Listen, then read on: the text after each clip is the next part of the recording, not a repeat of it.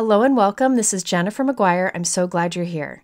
Today I am sharing with you how I create my color labels for my ink pads and my ink swatches. Taking time to do the labeling and swatching has been very helpful to me. I can find the colors of ink that I need faster. I can create color combos easier, and I just use my inks better.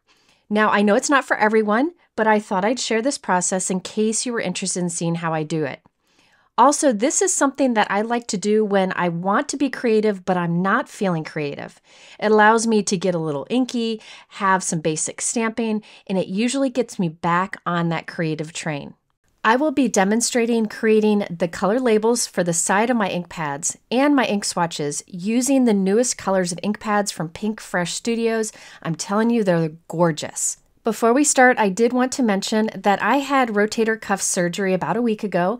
It'll be a while before I'm out of this giant sling that you see here, but I thought I would try today to use my left hand for creating these swatches. I didn't do a perfect job with my labeling, but that's okay.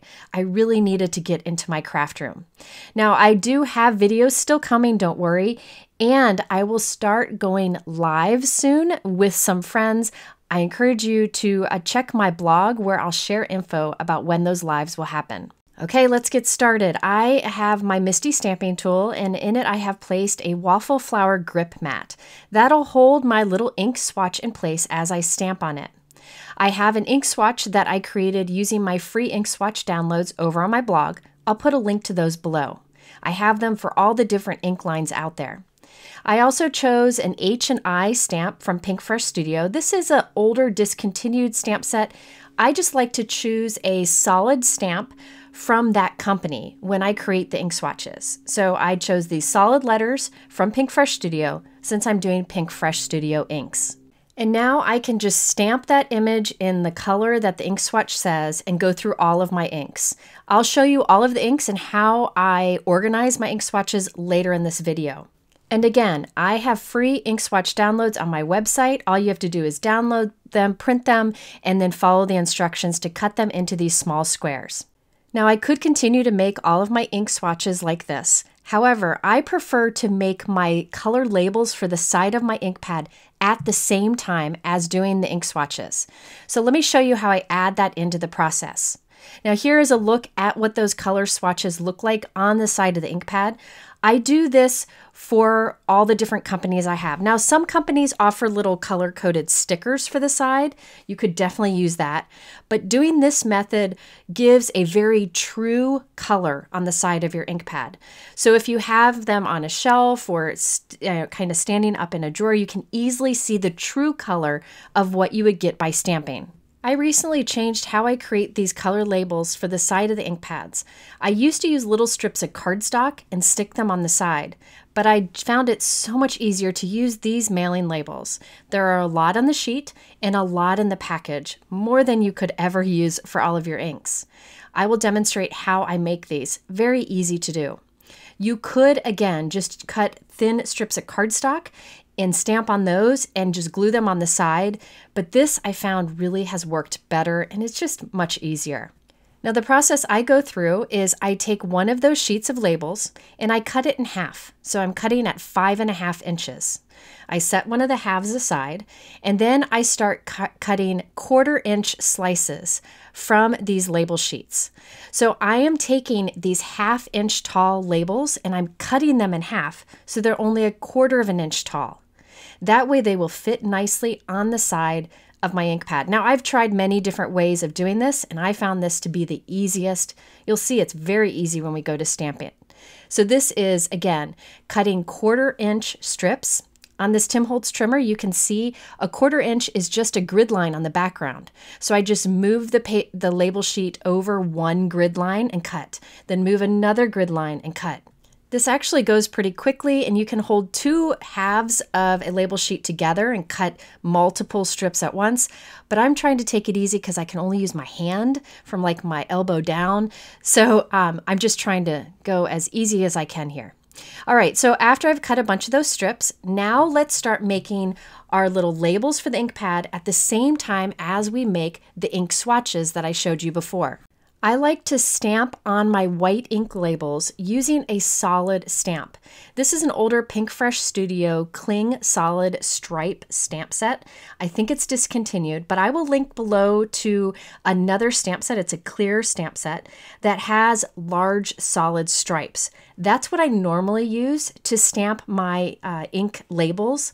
But honestly, it's in a box in the other room and I can't get it down with my arm. And my husband went out for a run. So I'm making do with this. But any kind of solid image that would stamp over your label would work. Now, this strip of labels that we just cut to be quarter inch wide, that actually has four labels going across. I'm only using two, but I'm stamping as much as I can over this whole strip and I'll just peel off two labels from it. So I will have two labels stamped, one for one end of the ink pad and one for the other end. There are a million ways you could do this. This is just what works for me. You could also take your ink pad and just swipe it on the label, but I like to get the true color that you get from stamping instead of going direct to paper and swiping. Okay, so let's do our stamping. I put my ink swatch in the corner. I'm putting my white label strip right there in my stamping tool, right along one of the grid lines there. I know if I put it there every time, it'll stamp just fine. I'm inking up the cling stamp stripes and the high, and I'll stamp them both at once. That way I create my ink swatch and the labels for the side of my ink pads at the same time. Okay, now watch this beautiful color. This is one of my new favorites from Pinkfresh. It's called Begonia. It is such a beautiful kind of dusty peach color. I just love it. So we have our ink swatch and we have our label here. And now we can move on to the next color. So I just go through and do this for a bunch of different inks. Then I go and put everything together at the end. You get into a rhythm and it really doesn't take that long. And by the way, the reason I used two of these stripe stamps is because it's a shorter stripe.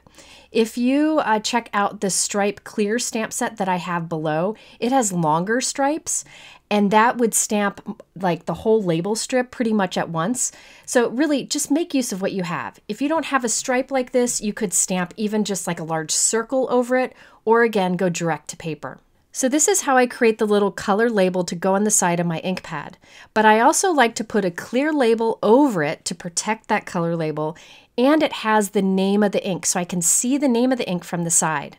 So I use a label maker for this. I have used a label maker for many years in my craft room. I've shown it many times in videos. It's one of my most used craft tools.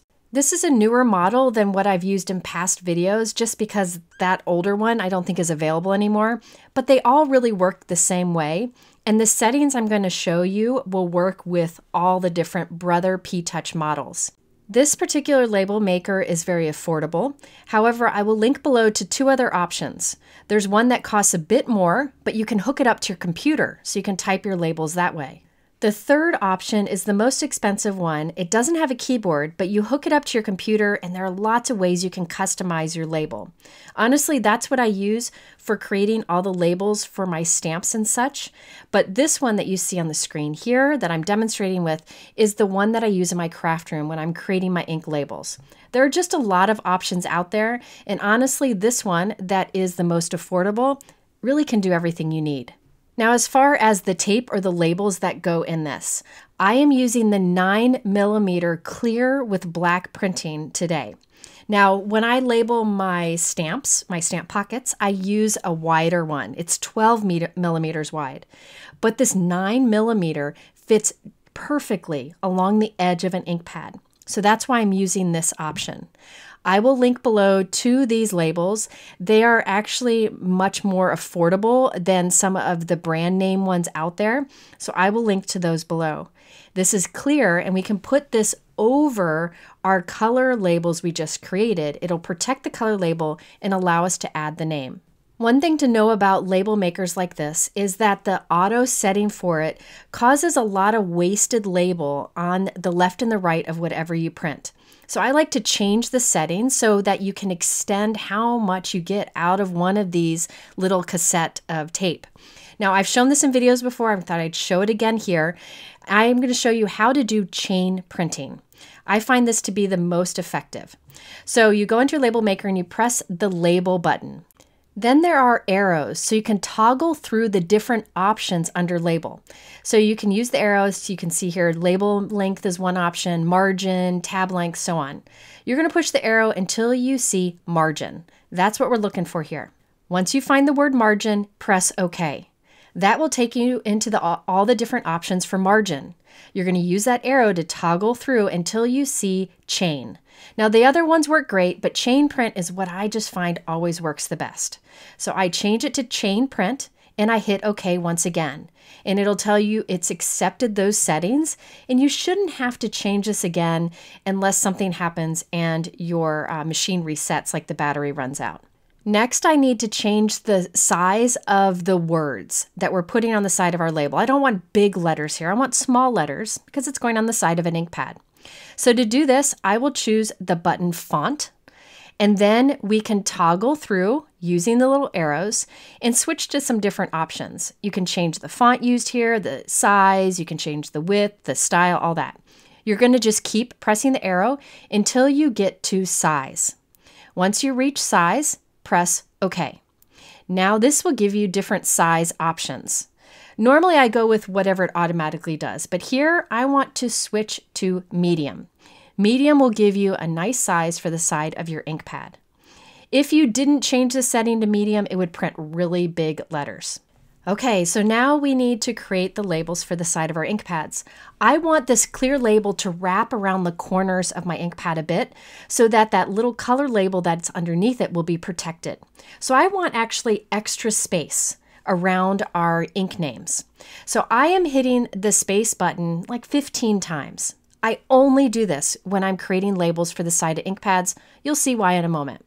So I hit this space bar about 15 times. Then I'm going to do PF for Pinkfresh Studio. It just makes it easier for me to quickly grab whatever I'm looking for. So I'll do PF and then a space and then whatever the ink color name is. Once I've typed that name in, I will hit print. So that's up there on the top right corner. I'll hit print and it'll say how many copies. I need two because I plan to put a label on both ends of my ink pad. You could just do one if you want. So I press two and then OK, and it'll start printing it out the back.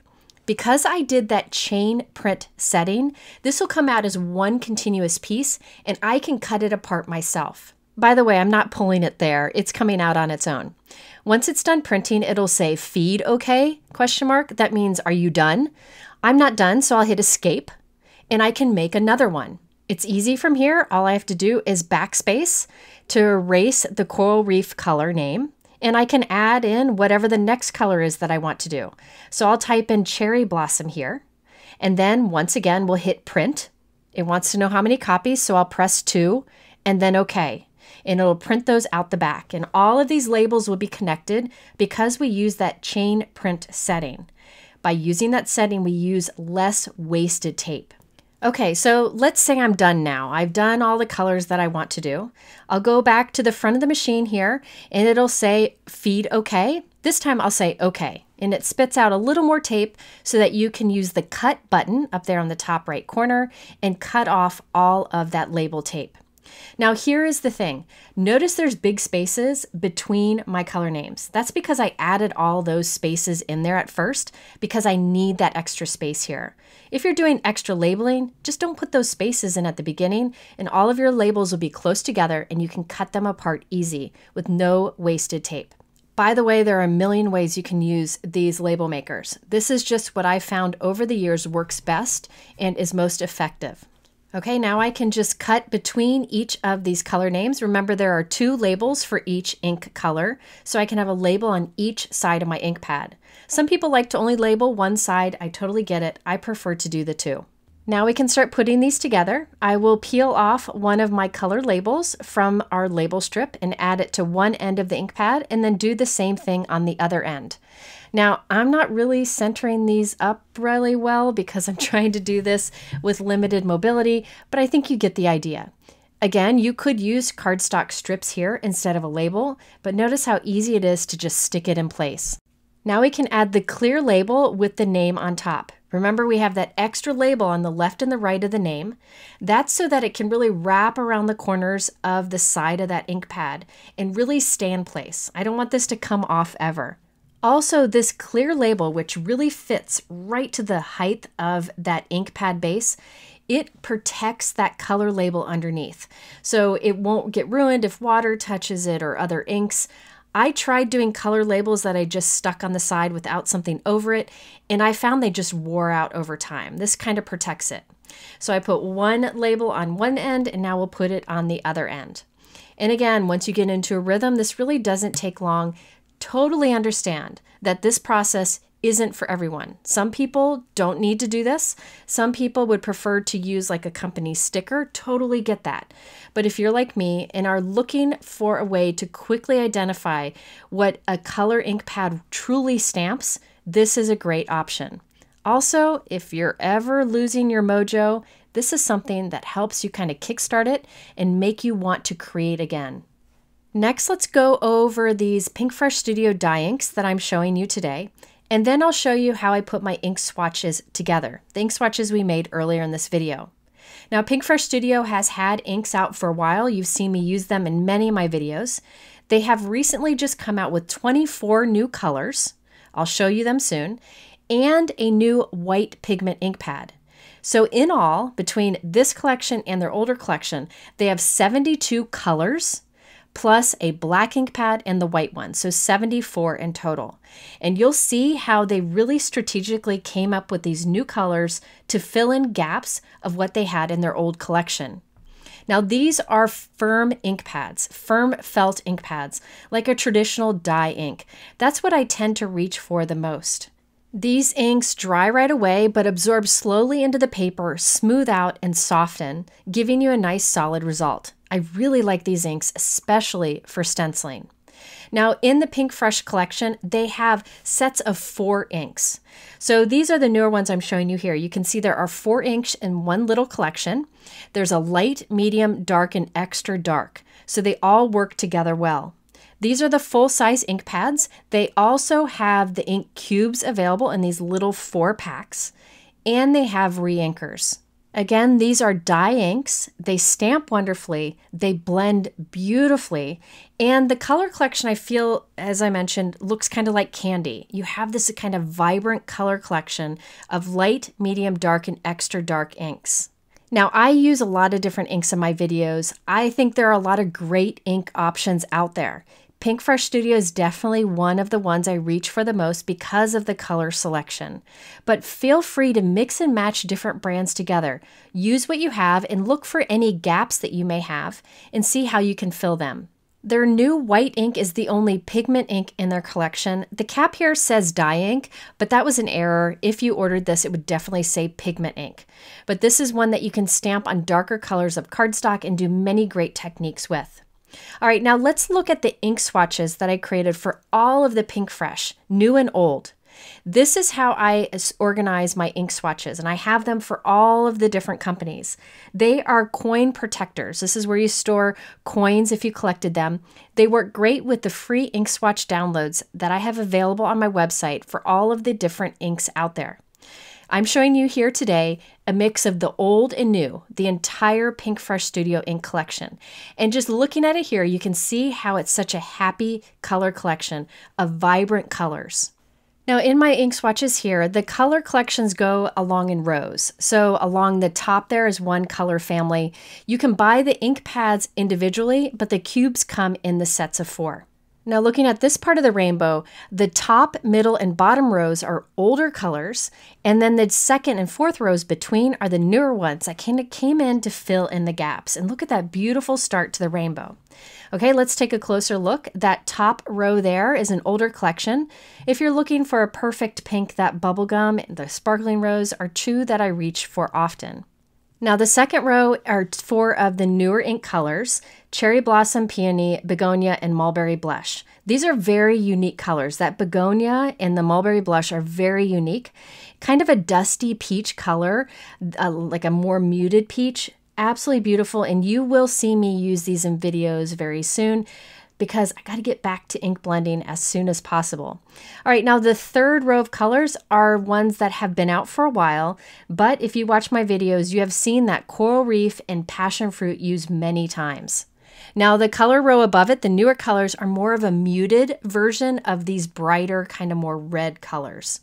The fourth row has a new set of four colors. We have the Sunkissed Mimosa, Mango Sorbet, and Fruit Punch. And this is such a happy kind of peachish orange color. It is truly like a fruit punch color.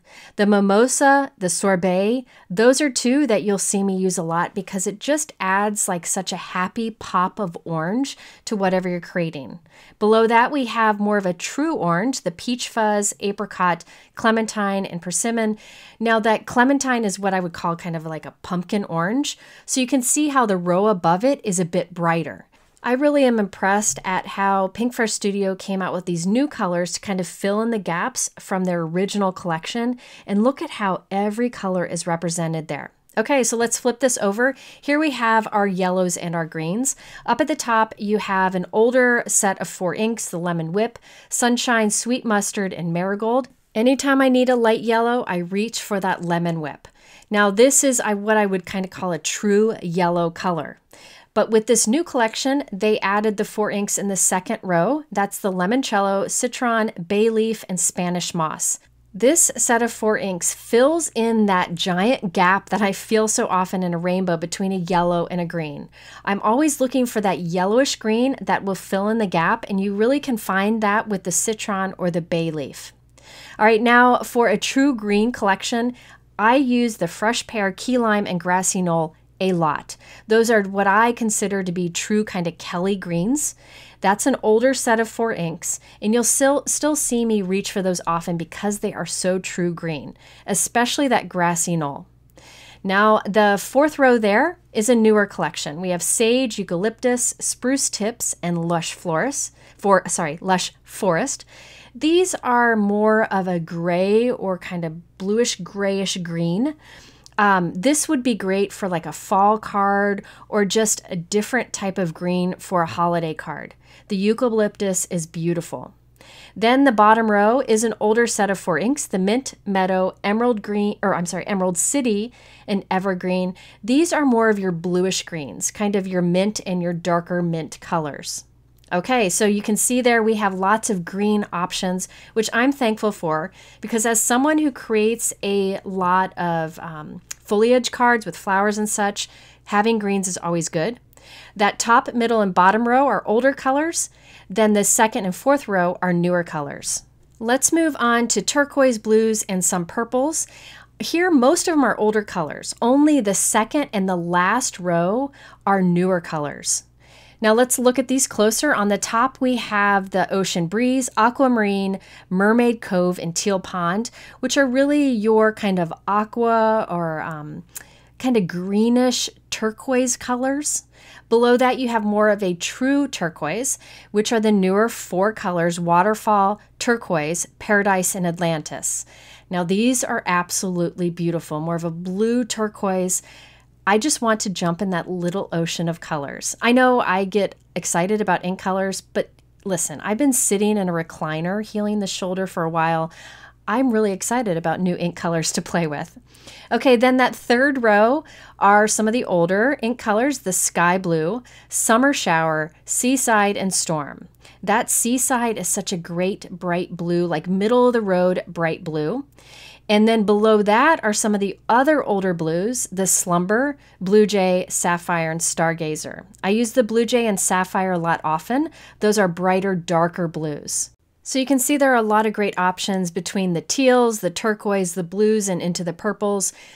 No one needs every color of ink. Please know that. But I'm hoping that by giving you a closer look, you could maybe pick out the favorite colors you have or ones that you maybe have been looking for. All right, along the bottom here, we have some new purples. Now, these are great kind of true purples, maybe leaning more towards the bluish side. That hydrangea is absolutely gorgeous. I was really excited about that collection of purple that was added because the top row here is the purple they used to have, which was definitely more of a pinkish purple. Now, don't get me wrong, that older collection of purples I use quite a lot. That Candy Violet is a great pinkish purple for kind of a magenta feel on your card. Then below that, we have the older Misty Coast, Rocky Slope, Metropolis, and Licorice. Now, the licorice color is missing because I use the licorice ink pad to stamp the handmade by Jennifer stamp on the back of all of my cards. And that also is in a box in the closet. I just get it down when I need it and I can't reach it. So that's why I can't stamp that ink swatch right now. But do know it's just a darker gray, and these are true grays, which are definitely hard to find. Below that, we also have the older warm buff, dough, gathered twigs, and espresso. And then finally, the detail black ink. And then there is that white pigment ink. Now, I haven't created a swatch for that yet, but you can see it is a vibrant white pigment ink that is great for lots of techniques. So, again, 74 colors in all, 72 of them are like true dye color ink pads, then the black and the white in addition. And these are the ink swatches I made free over on my website. You just put them in coin slot protectors, and I keep them in a binder with all of the different companies. That way, I can easily pull out different color swatches, make different color combinations, and make the best use of the inks that I have. Before we go, I also wanted to mention that Pinkfresh Studio just came out with storage boxes that are super nice for ink cubes. I couldn't show them in the video due to my arm and my husband being out on a run, so I didn't have any help. But these are great because they're zipper pouches. You can see they're nice pink. There are two different sizes. The zipper opens and there is great storage for your ink cubes. They stay nice and secure in there, and you could actually use these boxes with any brand ink cubes. I will link to these below if you want to get a closer look at them. I'm really hoping this video was helpful to you. Please know that I try to show as many ink swatches in my videos for different ink lines out there. I can't do them all, but I do as many as possible so that you can better see if some of the colors or types of inks work for you. So there are a lot of great options out there. If you want a closer look at what I talked about today, I have it all linked below in my YouTube description. And at the end here, I'll link to a couple other related videos. One of them shows how I create those ink swatches, how I print and cut them. It's an older video, but it still holds true. I've done this process for a while. Thanks for watching. I'll see you again soon and have a great day.